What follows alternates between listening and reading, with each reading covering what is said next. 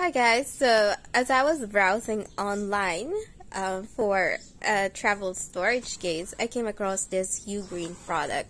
Now, this costed me around 339 Philippine pesos, um, but uh, I got it for a discount, so that's like 312 Philippine pesos, including the shipping cost. but that was during the promotion. Um, right now, I saw on their site that it's priced at 406 or 407 Philippine pesos, including shipping fee. So it's quite pricier compared to the other brands because the other brands costed like around uh, 100 or 150 Philippine pesos, but this one is quite as expensive compared to the rest. But I saw why that was uh, because uh, the design is just so so wonderful. Let's try to open this one.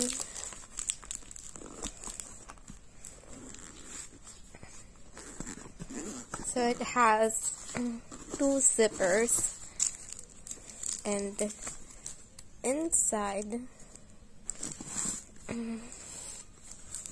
it has this compartment. Um, th so this one is detachable. So if you want to place like uh, separate items here you can do that. And with this is warranty information a limited two-year warranty applies to all Ugreen products purchased from Ugreen official store or authorized seller. Please feel free to contact us if you run into any problems well, that's nice. So we have this compartment. So there, there's a partition here.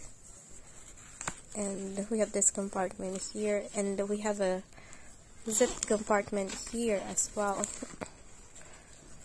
Mm-hmm. so this is nice.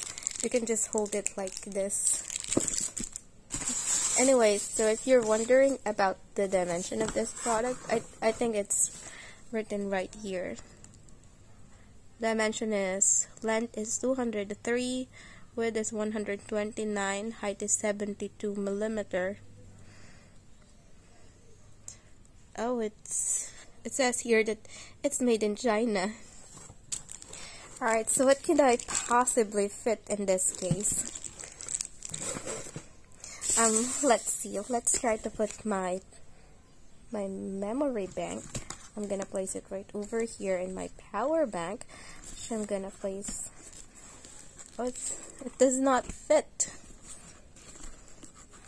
Hmm, perhaps I can place them somewhere else. Um, perhaps here.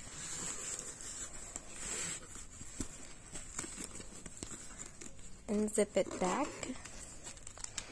what other items could I place here? Quite possibly my other items. Mm. And if you have cards, you can probably store it here.